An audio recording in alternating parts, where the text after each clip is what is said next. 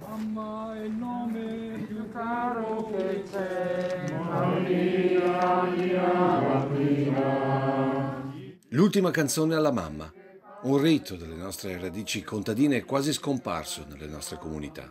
Ma non a Conscio, dove per Gemma dei Rossi, una delle famiglie storiche del Radicchio Rosso di Treviso, i dieci figli hanno voluto salutarla così, con un coro, soprattutto un brano vecchissimo, perché per la gente dei campi non esiste l'antico, ma il vecchio e il nuovo. E Mammina mia mammina era una delle canzoni che hanno cantato generazioni di gente della terra alle loro madri, così come i Criveller in una mattina d'estate hanno fatto per la loro mamma Gemma.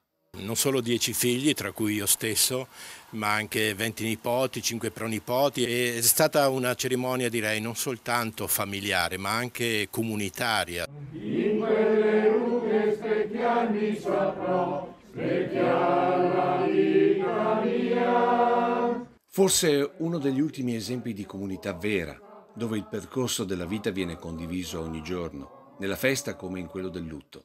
È una canzone che accomuna davvero tutti, perché tutti hanno una mamma. Cantata nel camposanto di campagna come nei cimiteri monumentali da chi era andato a cercare lavoro nelle grandi città, Mammina mia mammina è il legame non solo di sangue, ma anche con la propria madre terra. Mamma mia mamma, io sono con te. Mamma mia mamma, vivo per te. Canzone dell'emigrazione Mammina mia mammina ci riporta alle madri lontane da quei figli finiti nelle miniere per pagare i debiti di una guerra perduta o nelle Americhe a catar fortuna. E allora questa vecchia canzone diventa non solo attualissima, ma soprattutto un segno della nostra storia da non dimenticare mai.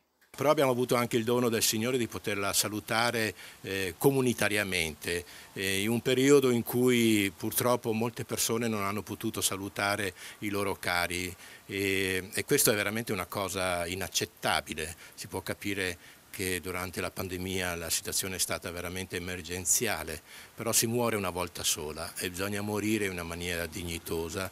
Ed il mio cuore per sempre sarà.